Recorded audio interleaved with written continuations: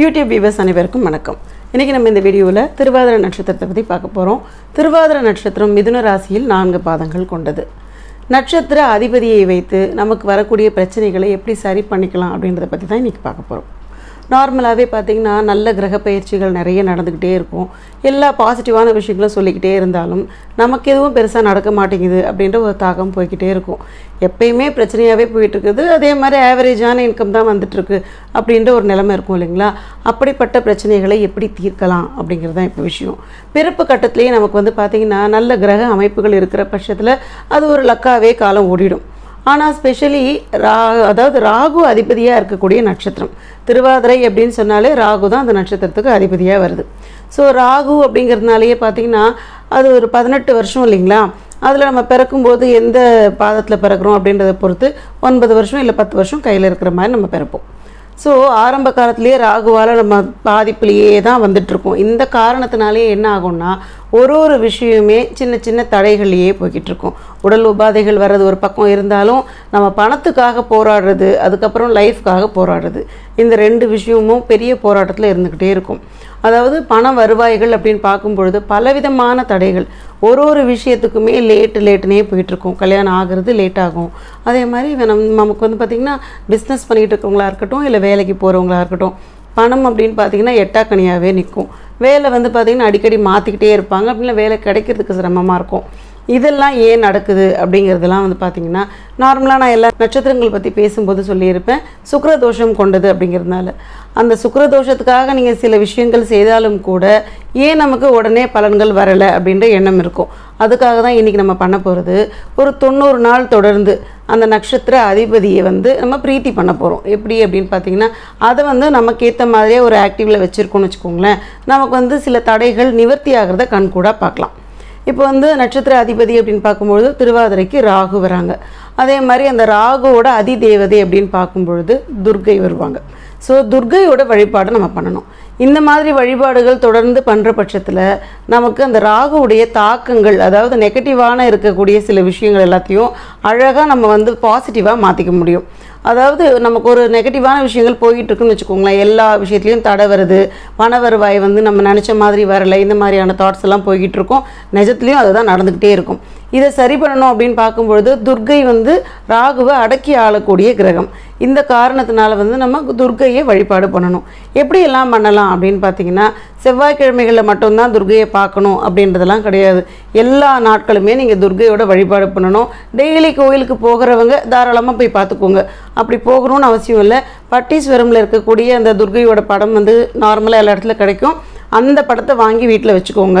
வச்சுட்டு டெய்லியுமே வந்து பார்த்தீங்கன்னா ரெண்டு மண் விளக்கு ஏற்றி வச்சுக்கலாம். ஏற்றிட்டு அவங்களுக்கு நெய்வேத்தியமாக ஒரு டம்ளர் பால் வச்சு வழிபாடு பண்ணிக்கோங்க. இப்படி துர்கையோட வழிபாடு நீங்கள் பண்ணிக்கிட்டு இருக்க பட்சத்தில் ராகு அப்படியே ஆஃப் ஆகிறத கண் கூட பார்க்கலாம். பலவிதமான நன்மைகள் வந்து ஒன்று சேர வரதையும் நீங்கள் கண் கூட பார்க்கலாம். ஆண்களுக்கு அப்படின்னு பார்க்கும்பொழுது அதிகபட்சமாக நமக்கு வந்து பார்த்திங்கன்னா பணம் வர்றது அப்படியே ட்ராப் ஆகி நிற்கிறதையும் பார்ப்பீங்க. அதாவது பெரிய பெரிய பிரேக் நடக்கும். நார்மலாக ரொட்டீனாக பணம் வந்துட்டுருக்கு அப்படின்ற மாதிரி இருக்காது பிஸ்னஸ்ன்னு பார்த்தீங்கன்னா ஒரு பணம் வந்துருச்சு அப்படின்னா அதுலேருந்து கொஞ்சம் வருஷத்துக்கு நமக்கு அப்படியே ஆஃப் ஆகிருக்கும் இந்த மாதிரி தடைகளை அதிகமாக ஃபேஸ் பண்ணவங்க ஆண்களாக இருப்பாங்க. பெண்கள்னு பார்க்கும்பொழுது பார்த்திங்கன்னா வேலையில் பயங்கரமான சிரமம் இருக்கும். ஏட்டிக்கு போட்டி பேசுகிற மாதிரி கூட இருக்க நபர்கள்லாம் இருப்பாங்க. நம்மளை வந்து பெருசாக மதிக்காத மாதிரியான சூழ்நிலைகள்லாம் இருக்கும். இது எல்லாத்தையும் சரி கட்டுறதுக்கு துர்கையோட வழிபாடு அப்படின்னு பார்க்கும்பொழுது நமக்கு ரெஸ்பெக்ட் கிடைக்கிறது. அதாவது நம்மளை வந்து மதித்து நடத்துறதுக்கு உண்டான ஒரு விஷயம் நடக்கும். அதாவது நீங்கள் வந்து ரொம்ப பெருமையாக ஃபீல் பண்ணுவீங்க. இது வரைக்கும் எவ்வளோ நல்ல விஷயங்கள் நீங்கள் பண்ணியிருந்தாலும் அதிகபட்சமாக உழைப்பை போட்டிருந்தாலும் ஒரு அங்கீகாரம் அப்படின்ற விஷயம் உங்களுக்கு கிடைக்கவே கிடைக்காது. பாராட்டி பேசவே மாட்டாங்க. நீங்கள் உதவி போய் ஓடி போய் செஞ்சாலும் கூட உங்களுக்கு பாராட்டுகள் கிடைக்கவே கிடைக்காது. இது எதுக்காக அப்படின்னு பார்த்தீங்கன்னா ராகுவுடைய தன்மை இதுதான். நம்மளை வந்து பெருமையாக பேச வைக்காது. எல்லா இடத்துலையுமே நம்மளை கொஞ்சம் அதாவது கொஞ்சம் தள்ளி வச்சு பார்க்கும் கொஞ்சம் கலங்க வைக்கும். மனசளவில் கொஞ்சம் கஷ்டத்துலேயே இருக்க வைக்கும். இதுதான் இந்த கிரகத்துடைய ஒரு பண்பு. அதனால் என்ன பண்ணணும்னா அதோட அதிதெய்வம் அப்படின்னு பார்க்கும்பொழுது நம்ம துர்கையை அழகாக வழிபாடு பண்ணணும். இந்த வழிபாடுகள் பண்ணுற பட்சத்தில் அதே நம்ம நம்ம வந்து பார்த்திங்கன்னா டைரெக்டாக அதோட அதிதேவதையை கும்பிடுறோம். அந்த புற்றுகள்லாம் இருக்குது பார்த்தீங்களா அந்த நாகர் சிலையெல்லாம் இருக்கும் பாருங்கள் அந்த இடத்துக்கு போயிட்டு அந்த பால் விடுறது மஞ்சள் குங்குமம் போடுறது இந்த மாதிரி விஷயங்களையும் கொஞ்சம் ஃபாலோ பண்ணணும். அம்மன் கோவில்களுக்கு போனீங்கன்னா கண்டிப்பாக இந்த நாகர் சிலையெல்லாம் இருக்கத்தான் செய்யும். அங்கேயும் கொஞ்சம் போயிட்டு ஒரு விளக்கு ஏற்றுறது ஒரு மூணு சுற்று சுற்றிட்டு வர்றது இது எல்லாத்தையுமே ஃபாலோ பண்ணுங்கள் ஒரு தொண்ணூறு நாளைக்கு வீட்டிலையே நீங்கள் வந்து பார்த்தீங்கன்னா துர்கையோட படம் வச்சு அந்த பால் வச்சு வழிபாடு பண்ணுறதை ஃபாலோ பண்ணுங்கள் அதே மாதிரி ஒரு சனிக்கிழமை காலகட்டங்களில் வந்து கோவிலுக்கு போய் சுற்றிட்டு வாங்க நவகிரகம் சுற்றுங்க அதுக்கப்புறமா வந்து பார்த்தீங்கன்னா அந்த துர்கைக்கிட்டேயும் போயிட்டு விளக்கு போடுங்க. இதை தொடர்ந்து பண்ணணும் துர்கைக்கு அர்ச்சனை பண்ணணும். ரொம்ப முக்கியமாக உங்கள் பேரில் நீங்கள் அர்ச்சனை பண்ணிக்கோங்க. ஒரு ஒன்பது வாரங்கள் அர்ச்சனை பண்ணுங்கள் அது சனிக்கிழமையில் செவ்வாய்க்கிழமையிலேயே பண்ணிக்கோங்க. இதை நீங்கள் தொடர்ந்து பண்ணாலே போதும். உங்களுக்கு வந்து அந்த ராகுவோட தாக்கம் குறையும். இது வந்து பார்த்திங்கன்னா தொண்ணூறு நாள்னு ஏன் சொல்கிறேன்னா ஒன்பது அப்படின்னு எடுக்கக்கூடிய ஒரு ஒரு விஷயமே இந்த நவகிரகங்களில் உள்ள அத்தனை கிரகத்தையுமே ஒரு நெகட்டிவான ஒரு தாக்கத்துலேருந்து நம்மளை விடுபட வைக்கும். இதை நம்ம பண்ணிட்டோம்னு வச்சுக்கோங்க. அதுக்கப்புறமா நமக்கு இந்த மாதிரியான தடைகள்லேருந்து வெளில வந்துடுவோம் அதுக்கப்புறமா இதை தொடரணுமா வேண்டாமா அப்படிங்கிறது நீங்கள் தாராளமாக நீங்களே முடிவு பண்ணிக்கலாம். இந்த விஷயம் நல்லா போய்கிட்டு இருந்தது அதனால் இதை நான் அழகாக கம்ப்ளீட்டாக நான் ஃபாலோ பண்ணிக்கிட்டே போகிறேன் அப்படின்னு நினைக்கிறவங்க தாராளமாக பண்ணிக்கலாம். நான் ஒரு ஒரு விஷயத்தையுமே 90 டேஸ்க்கு உங்களுக்கு ஒரு பாடமாகவே கொடுத்துட்றேன். இதை ஃபாலோ பண்ணுங்கள் பெரிய அளவில் இம்ப்ரூவ்மெண்ட் அப்படின்றத லைஃப்பில் கண்டிப்பான முறையில் பார்ப்பீங்க. உதவிகள் செய்கிறது அடுத்தவங்களுக்கு உதவி செய்கிறது நார்மலாக நீங்கள் பண்ணிகிட்ருப்பீங்க இருந்தாலும் எந்த மாதிரி உதவிகள் செய்யலாம் அப்படின்னு பார்த்தீங்கன்னா ரொம்ப பலகீனமாக உடல் உபாதைகள் இருப்பாங்க பார்த்தீங்களா அதாவது கை கால்கள் வந்து முடக்கம் ஏற்பட்டிருக்கிறவங்க இந்த மாதிரி நபர்களுக்கு தேடி தேடி உதவி செய்யுங்க. அப்படிப்பட்ட நபர்களுக்கு நீங்கள் உதவி செய்யும் பொழுது ராகுவுடைய பிரீத்தி அப்படின்னு சொல்லுவோம் இல்லைங்களா? அதை நம்ம ஏற்படுத்திக்கிறதுக்காக நம்ம வந்து இந்த மாதிரி உடல் ஆரோக்கியம் இல்லாமல் இருக்கக்கூடியவங்க கை கால்கள் நடக்க முடியாமல் இருக்கிறவங்க இந்த மாதிரி நபர்களுக்கு உதவி செய்யணும். அவங்களுக்கு துணி வாங்கி கொடுக்கறது அதுக்கப்புறமா செருப்பு வாங்கி கொடுக்கறது அதுக்கப்புறம் உணவு ரொம்ப முக்கியமான ஒரு விஷயம். இது எல்லாத்தையும் நீங்கள் ஃபாலோ பண்ணுங்கள் இதை ஃபாலோ பண்ணாலே போதுமானது அளவுக்கு அதிகமான நன்மைகள் உங்களுக்கு வந்துகிட்டே இருக்கும். கோவில்களுக்கு போகிற காலகட்டங்களில் உதவிகள் செய்யுங்க. ஏன்னா அந்த சமயத்தில் தான் நம்ம கோவிலுக்கு நேராக போய் நிற்கும் பொழுது சில பார்வைகள் நம்ம மேலே விழும்.